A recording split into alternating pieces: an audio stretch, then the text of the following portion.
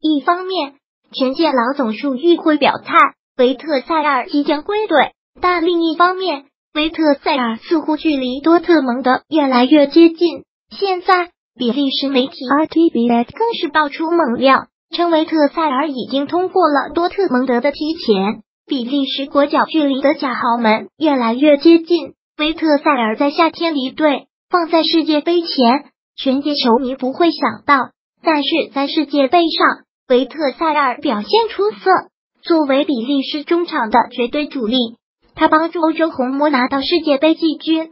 此后，维特塞尔就和多特蒙德传出绯闻。比利时媒体不断更新报道，称维特塞尔和多特蒙德越来越接近。这让权健球迷心中十分不安。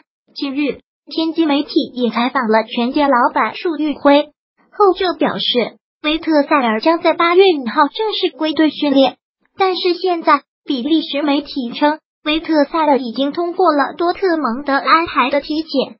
如果真到了这一步，维特塞尔的离开恐怕是在所难免了。维特塞尔加盟多特蒙德的转会一切顺利。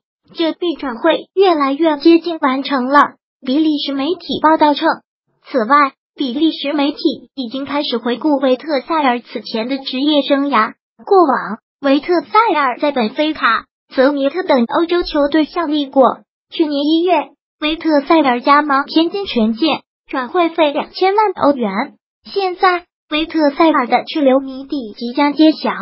这一次，恐怕权健老板要被打脸了。